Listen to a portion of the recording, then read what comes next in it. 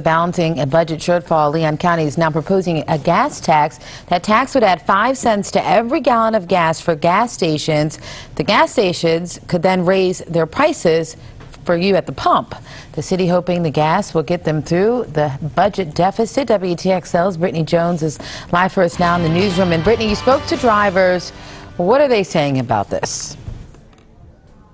Well, Mika residents say they can't afford it and commissioners need to find another way to balance the budget.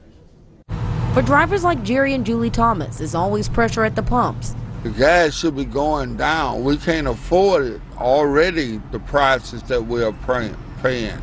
Already struggling to fill up this truck, Jerry and his wife aren't happy Leon County commissioners are now proposing an additional 5 cent gas tax to pay for construction on county roads a process that's been going on for years. But Commissioner Bryan Desloge says the money has run out.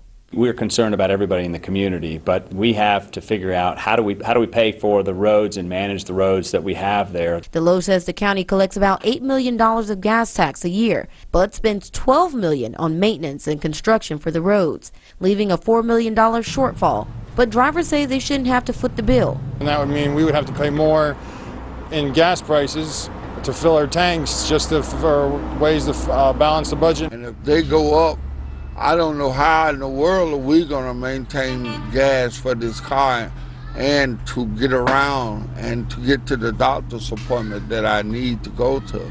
Desloge says each gas station would be taxed the extra 5 cents per gallon, but it'll be up to the individual companies to raise their prices they could decide that they're going to lower what they they don't want to raise it automatically. In most cases, you would assume that they would probably push their prices up. Now, the proposed gas tax will need the majority approval from commissioners in order to pass. Residents will have a chance to weigh in on the issue in September. I'm live in the newsroom. Brittany Jones, WTXL, ABC 27, dedicated to you. All right, Brittany, thank you. Well, the rain has been causing lots of grief for many local residents. Well, and for others, especially those in Georgia, they're just grateful to have it. You got your full forecast coming up. And an Indiana teen back at home after a parasailing accident in Panama City Beach. We're going to hear from her dad and her recovery.